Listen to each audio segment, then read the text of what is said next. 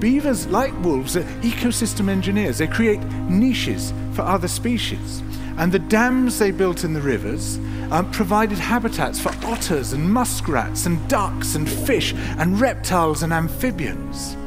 The wolves killed coyotes, and as a result of that, the number of rabbits and mice began to rise, which meant more hawks, more weasels, more foxes, more badgers. Ravens and bald eagles came down to feed on the carrion that the wolves had left. Bears fed on it too, and their population began to rise as well, partly also because there were more berries growing on the regenerating shrubs.